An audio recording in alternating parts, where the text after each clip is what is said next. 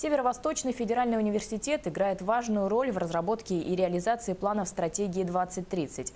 Основные направления, указанные в документе, обсудили сегодня в учебном заведении. Там прошли открытые лекции для студентов и преподавателей, а также круглый стол с участием зампреда правительства министра экономики Якутии Алексея Стручкова.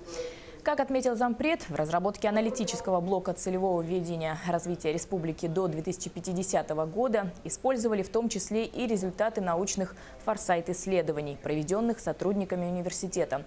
Отметим, что мероприятие проходит в рамках празднования юбилея СФФУ. В этом году ВУЗ отмечает свое 60-летие.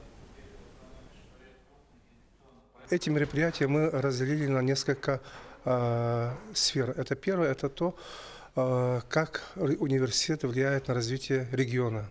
И, само собой разумеется, э, вот данной области мы начинаем с обсуждения стратегии развития Республики Саха-Якутия до 2030 года и видения до 2050 года. И мы надеемся, что, что э, эти круглые столы, эти встречи с министрами и э, руководителями различных министерств и ведомств э, помогут нашим студентам увидеть не только перспективы будущей своей работы, но и увидеть еще дальше, как будет развиваться республика до 2030 до 2050 года.